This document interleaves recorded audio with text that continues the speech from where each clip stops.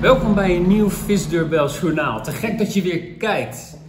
Also, warm welcome to everyone outside of the Netherlands. It's amazing that you are watching again, and I hope to tell you some nice stories about the fish in Holland this week again. Please note that you can switch on the subtitles below because I will be talking in Dutch, but then you can still follow the story.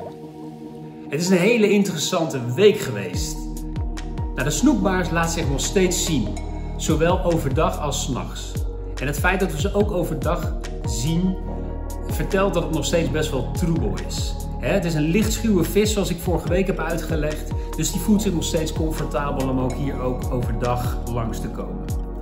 Nou, wat we ook zien is de snoek. Die komt steeds meer langs. Allereerst deze enorme dame die je hier ziet. Hele grote snoek, een dikke buik vol met eitjes.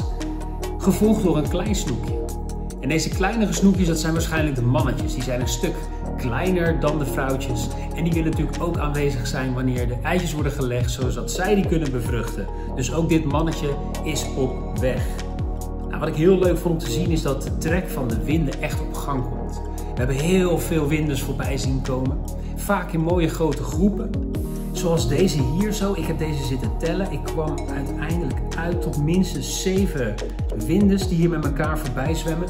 En je ziet dat het echt grote, stevige vissen zijn. Ik denk dat de vissen die je hier ziet zeker 40, misschien wel meer dan 50 centimeter groot zijn. En ineens kwam dit beeld voorbij. Wat een monster. Dit bijzondere beest is de wolhandkrab. En de Chinese wolhandkrab, dat is een krab die in zoetwater leeft. En wolhand, dat zegt het al, ze hebben een soort van sponsachtige goedje om hun armen heen. En daar krijgen ze hun naam van.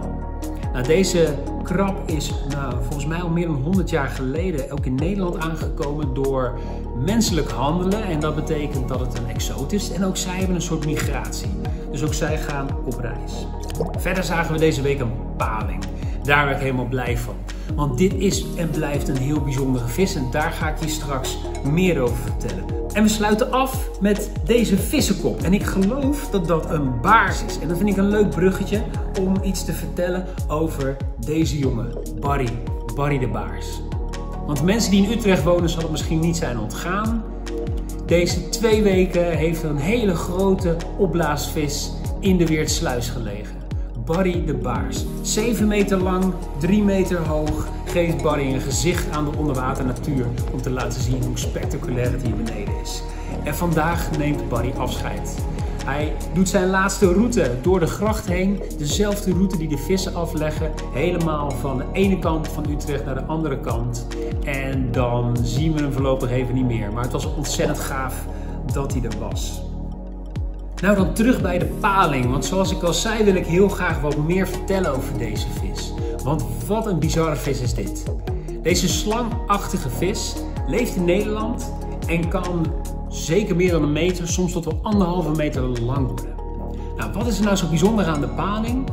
Deze dame die je net op het beeld zag, die zal hier waarschijnlijk nog een paar maanden blijven. En als het dan zomer is, eindzomer, najaar, dan gaat ze richting zee.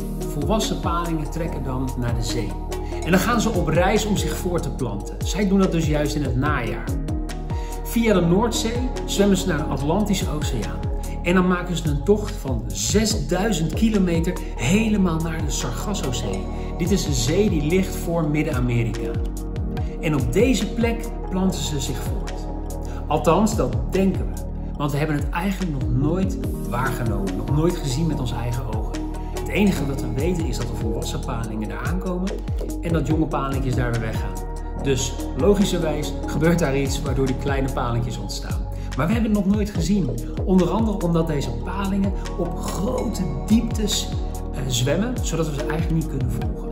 Nou, die jonge palingjes, ook wel glasaaltjes genoemd of wilgebladlarven, die zijn in het begin nog maar een paar centimeter groot. En volledig transparant, dus je kan er gewoon dwars doorheen kijken. En ze laten zich met de warme golfstroom mee terugspoelen helemaal naar Nederland. Deze reis kan wel een jaar tot soms wel drie jaar duren voordat ze echt weer in het zoete water terechtkomen. Daar leven ze vervolgens 10 tot 15 jaar. Dan zijn ze ruim 60 centimeter groot tot wel een meter lang en dan zijn ze volwassen. Dan trekken ze weer terug naar de zee om weer die 6000 kilometer af te leggen, helemaal terug naar de Sargassozee. Maar het gaat niet zo goed met de paling. Ondanks dat je ze nog steeds kan eten op een broodje op de markt, kan ik je vertellen dat de populatie palingen ruim 90% is afgenomen. En dat maakt dat het nu een ernstig bedreigde diersoort is. Hartstikke zonde, want het is een prachtige vis die echt past bij het Nederlandse water. En dan komen we aan bij de visvoorspelling. Vandaag en morgen blijft het nog vrij fris en gedurende de week loopt het dan weer ietsjes op naar ongeveer 15 graden. Nou, wanneer moet je gaan kijken? Deze week gaat de zon op in Nederland om ongeveer 5 voor 7. Dat betekent dat die eerste twee uur na zonsopgang altijd interessant zijn om even te gaan spieken. En ook het laatste uurtje aan het einde van de dag, hou het dan even in de gaten, dan is de kans groter dat je vissen ziet. Nou, ik hoop dat je het weer een leuk Visdeurbels journaal vond. Mocht je vragen hebben, vergeet ze niet te stellen in de comments hieronder. Uh, vergeet je ook niet te abonneren op ons kanaal, zodat je het Visdeurbels kan blijven volgen en andere leuke beelden. En ik hoop jou volgende week weer te zien bij een nieuw Visdeurbels journaal. I hope to see you again next week on a new Fish Doorbell report. Doeg!